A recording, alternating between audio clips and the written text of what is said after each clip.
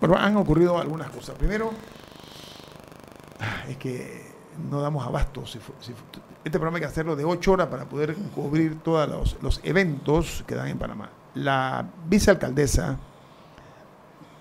Raiza Panfila ha anunciado, ha hecho públicas sus aspiraciones para ocupar por la vía independiente, porque ella llega a la vicealcaldía siendo independiente. Independiente. Que, que, eso quede muy claro. O sea, ella no está para nada alterando el curso de su carrera. Ella llega como independiente, le resultó al, al alcalde Blandón esa adquisición de una independiente y ahora ella dice, yo voy a hacer el relevo de Blandón porque el argumento es que ella, y en efecto así es que ella conoce la alcaldía de Panamá, cómo se maneja. ¿Qué opinión le merece a ustedes el anuncio de esta distinguida arquitecta?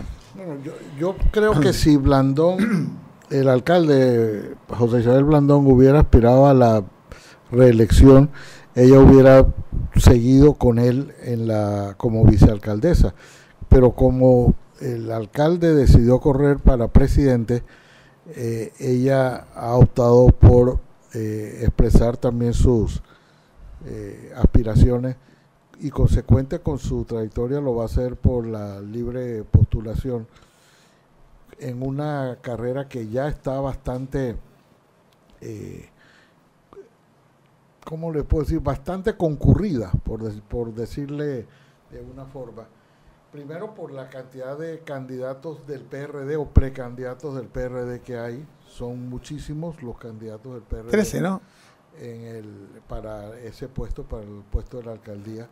Y están la de los partidos políticos. Y, y están aquellas que los partidos políticos han reservado. Hay que recordar que Cambio Democrático no dejó postular para ese cargo a Ricardo Martinelli porque lo tiene reservado para alianzas.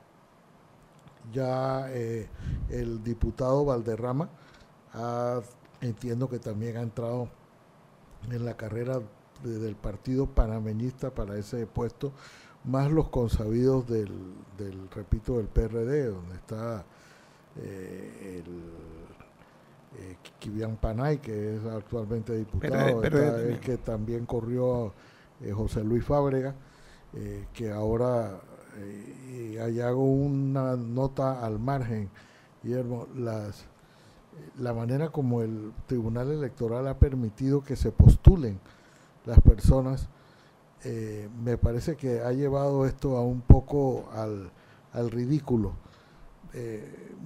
explico, cuando el doctor Ernesto Pérez Valladares se postuló para la presidencia en el año 94, se le permitió, eh, después de consulta más que en el papeleta apareciera Toro Pérez Valladares, porque ese es su sobrenombre que tú has tenido toda la vida.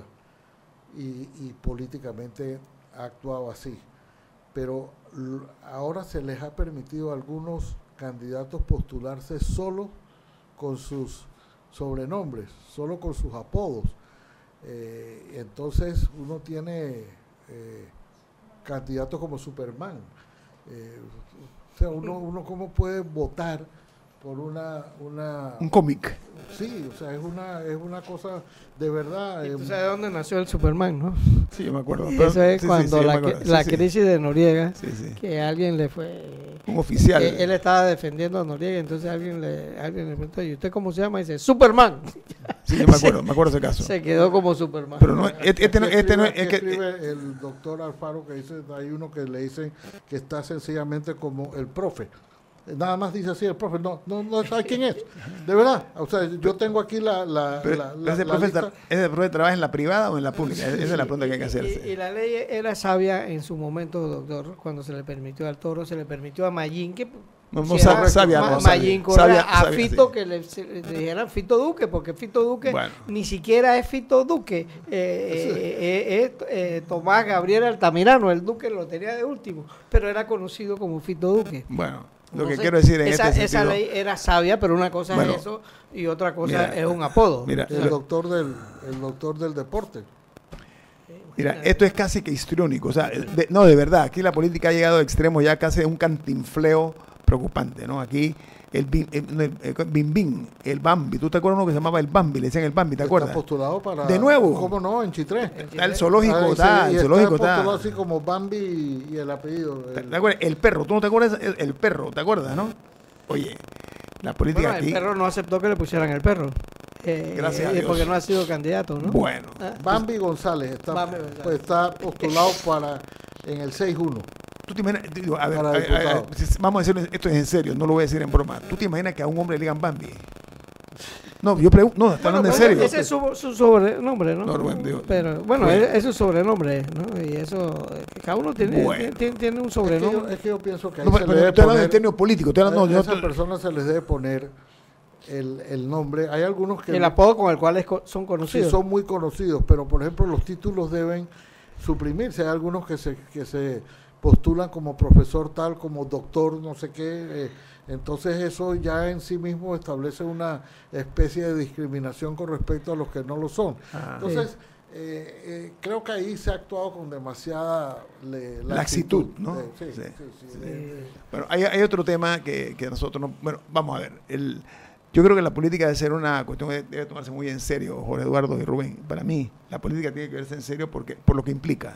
Eso no puede seguirse con este relajo que, con que se maneja la política. Hay otro tema que es la renuncia de la ministra de Educación. Ella se llama Marcela Paredes de Vázquez. Eh, ya se anunció formalmente, la presidencia ya lo anunció a través de la Secretaría de Comunicación, que descubrí que existe una Secretaría de Comunicación. La verdad es que por lo menos ha hecho algo loable en esta ocasión. Ha, habido otras. Yo tengo colegas que dicen, ¿quién es el director? Y eso, y eso me parece inquietante, me parece preocupante. Muy bien. Esto se, se maneja a un comunicado donde dicen que la señora ex ministra, bueno, la, ministra todavía va a mantenerse en el ministerio hasta el 15 de este mes, fecha a partir de la cual asumirá la Embajada de Panamá en Chile.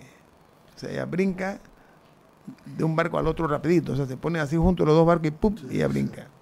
Entonces, entonces yo, yo, yo me pregunto, ¿cuántos meses quedan de gobierno? ¿10 meses? ¿Cuántos quedan de gobierno? De gobierno mismo quedan 11 meses, eh, bueno, ya no, diez y medio. De aquí a que se vaya quedarán 10 o 9. Bueno, yo quiero, yo quiero decir la parte positiva y espero que así sea.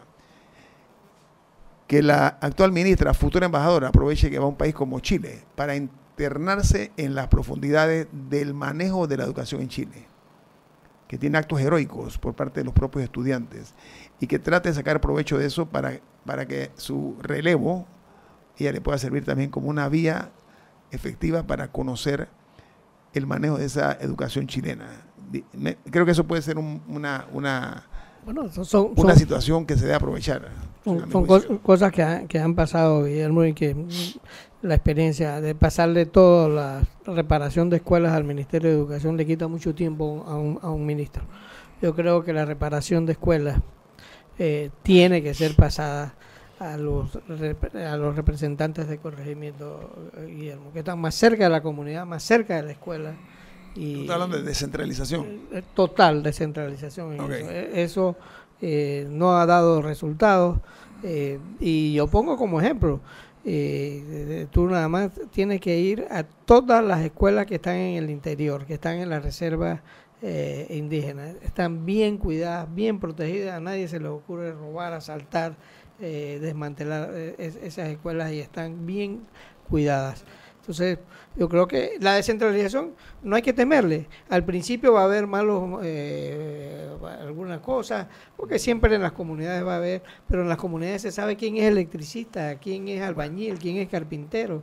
Eh, la gente sabe y la gente va a saber cuando le dan el contrato de, de poner el techo a alguien y, que se, se, sepa que él lo puede hacer. Antes no, usted publicó un Twitter que me pareció interesante. Dice Rubén que todavía no se ha resuelto el problema de ETESA y ya están hablando de, la cuarta línea. Cuarta línea. Sí. Sí, que no se va a necesitar en comparto, comparto tu opinión.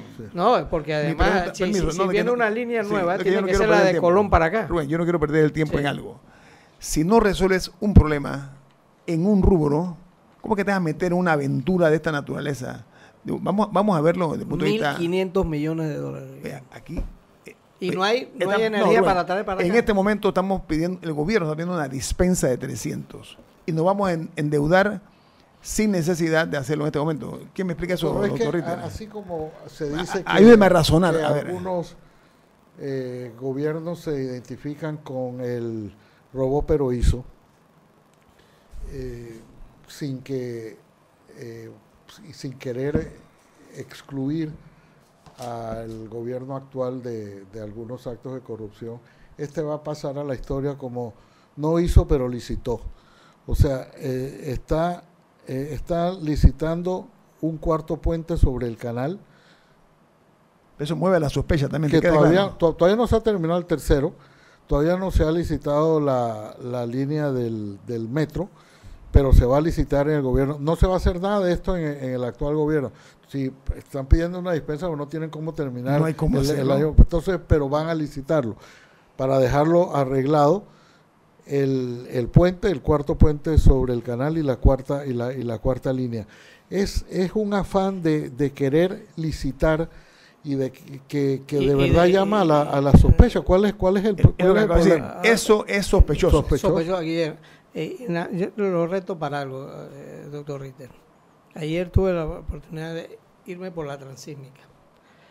Es un desastre. Hombre, la, la transísmica, a la otras ahí eh, el área de los famosos Fushbottom, eso está totalmente destruido. no hay manera de que eso se pueda. Sí, sí, mano, eso te iba a decir, entonces, Noruega. Eh, ¿Cómo nosotros estamos pensando en hacer un puente sobre el canal, de hacer un ferrocarril? No, el de las Américas está destruido, el puente de las Américas está destruido y vamos a hacer un puente nuevo. Si nosotros no, no podemos terminar las cosas bien, porque, porque esa, e, esa línea 1 la terminó Martin, eh, Martinelli dos años antes de, eh, terminar su gobierno. Estaba la línea 1 hecha de, del metro. Y entonces no hemos podido hacerle lo que contemplaba, que era que iban tres paños a cada lado, tres paños de y está totalmente destruido eso. Mira, eh, Esos 300 millones de la dispensa creo que no van a alcanzar. este gobierno, ni el anterior resolvió, ni el anterior, el extrema del Puente de las Américas. Miren ustedes qué cosa tan ilógica. ¿Me explico? Ninguno lo ha hecho. Bueno, aquí Ahora van a hablar de, un, de otro puente. aquí lo contó, Hombre, lo por, eso que la gente dice lo que dice y sospecha lo que sospecha. Lo contó el, diputado Domínguez, eh, Guillermo, y lo, dijo aquí en este programa. O sea, eso se tiene que hacer eh, con inyección o sea, cada vez que le pasan una capa es por gusto. porque han puesto una carpetita. Oiga, eh, hay una, hay una, hay una, eh, se hizo un análisis comparativo de la cantidad de millones, no sé si eran kilómetros, miles de kilómetros que, el, presidente dijo que había hecho, o de obras en kilómetros, y resulta que hay una discrepancia entre una cosa y la otra, ¿no? o sea, no es lo mismo lo que se licitó que lo que está hecho, es lo, es lo, que quiero decir. y yo estoy de acuerdo y he hablado con economistas que si, hay que darle los 300 o lo que sea, hay que dárselos al gobierno. Eso, eh, porque ¿qué ganamos con que no se haga esa, esa obra de, de, la transición? Tengo que, el equipo de Infoanálisis. Jorge Eduardo Ritter. Rubén Murga. Guillermo Antonio Menos, vamos. Gracias.